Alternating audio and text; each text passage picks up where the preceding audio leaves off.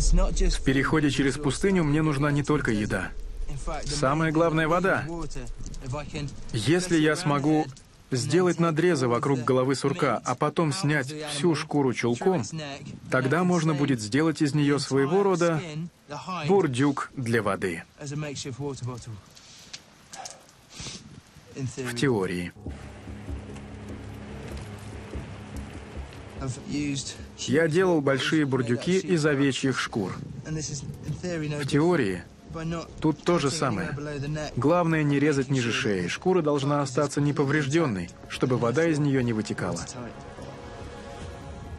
И вот вам трехлитровый бурдюк. К тому же не стоит забывать, что еще у меня есть отличный обед. Смотрите, сколько здесь мяса. Мне кажется, килограмма четыре.